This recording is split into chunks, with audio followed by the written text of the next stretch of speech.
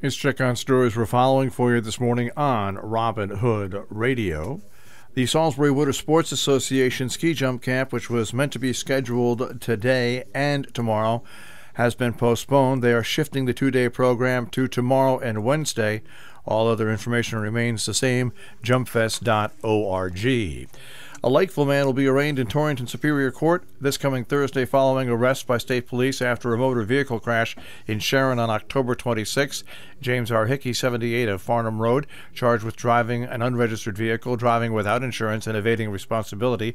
He turned himself into State Police Troop P on December 19th after learning there was an arrest warrant for him. A 28 year old Canaan man was arrested by state police for allegedly using a debit card to purchase $359 in video games online.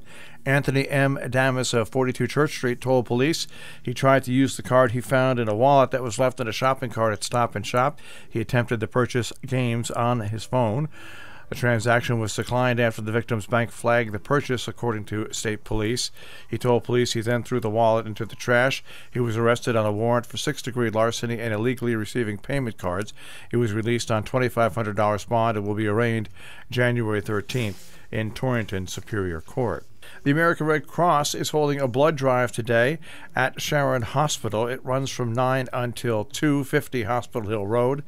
Blood and platelet donations of all types are needed, especially type O. More information 1 800 733 2767 from the Republican American on Sunday. Quinlan Mouse loves to travel outside the boundaries of Sharon, Connecticut, in reality and vicariously. The knowledge he's gained from those pursuits have made him the winner of Sharon Center School's National Geographic GeoBee for the second consecutive year. Just before school let out for the winter break, the seventh grader bested seven other students in grade 5 through 8 to take home the prize that now makes him eligible to compete in the state contest. The Smartphone Photography Workshop for kids in middle and high school, grades 5th and up, is a collaboration between the Kent Memorial Library and the Teen Advisory Board of the SAIC project. It'll be held today from 12:30 to 4:30. The workshop, taught by professional photographer Christopher Burns, aims to teach kids how to use their smartphones to express themselves artistically and promoting visual literacy. You can register by contacting the library. Scheduled for tonight, there'll be a public hearing of the Planning and Zoning Commission at 7 p.m. at North Canaan Town Hall. Subject to that hearing will be proposed moratorium on boarding houses. There have been concerns that some so called boarding houses are sober houses and are not being properly monitored. At a public hearing, the public will be able to ask questions and express concerns and make comments. Commission members will meet at a later date to make a decision.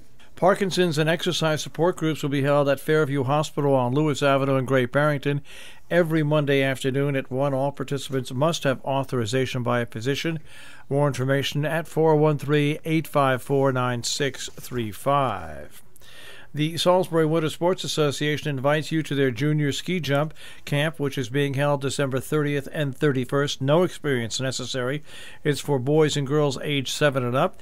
It's December 30th and 31st from 9 until 2 at Satre Hill in Salisbury. $50 per skier for both days for lunch, also included. First 25 to register will receive a camp t shirt. Pre registration or information is available from Ken Barker at 860 806 0471. Berkshire South Community Center is offering pickleball sessions a paddleball sport combining elements of tennis, badminton, and ping pong. Open play takes place Wednesdays and Sundays from 9 till noon at the gymnasium located at Crissey Road in Great Barrington. Each session is free for members, $8 for non members. More details at 413 528 2810 extension 35. Friends of the Taconic State Park invite you to join them New Year's Day for their annual first day hike to Bash Bish Falls, meeting at the Taconic State Park headquarters, 253 State Road 344 in Copake Falls, New York at 1, and head off to the falls via the Iron Works Heritage Trail.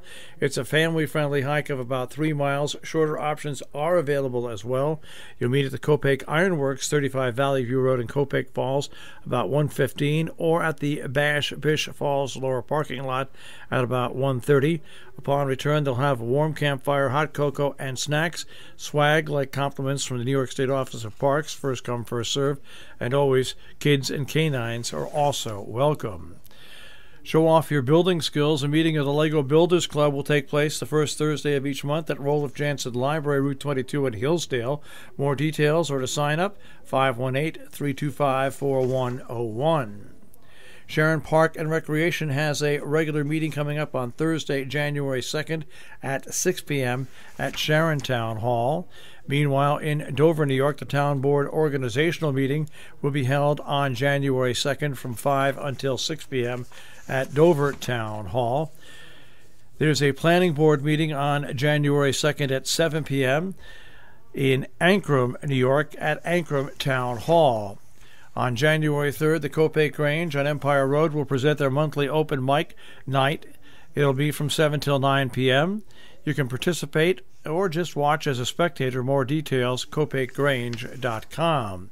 Bushnell Sage Memorial Library on Main Street in Sheffield hosting poetry readings on the first Saturday of every month, beginning at 11 a.m. More details at 413 229 7004.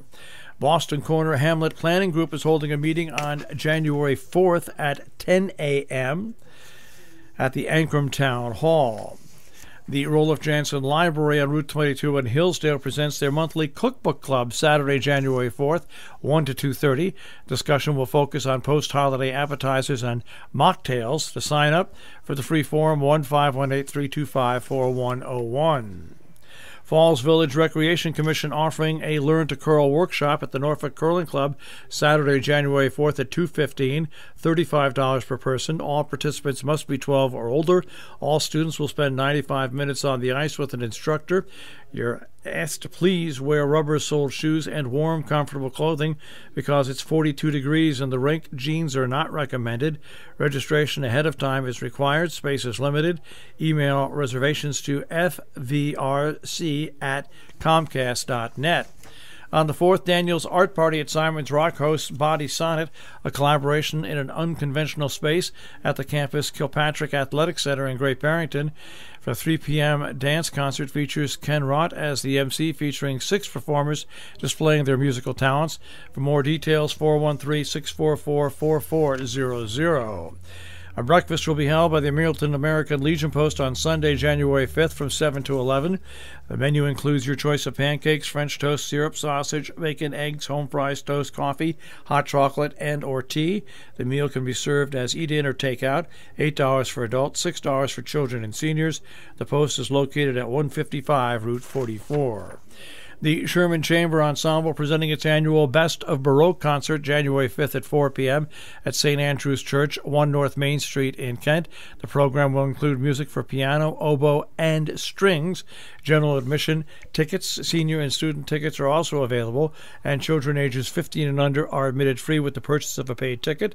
Tickets information or can be purchased at shermanchamberensemble.org or at the door on the afternoon the performance. For more information or reservations, 860-355-5930 or shermanchamberensemble.org. Our business brief is underwritten by Morgan's at the Interlaken, interlakenin.com, and by Salisbury Bank, salisburybank.com. Dow Jones Industrial Average will start off the week at 28,645.26, the Nasdaq at 9,006.62, and the S&P 500 at 3240.02. We'll take a look at the tri-state forecast. That'll come your way in just a few moments.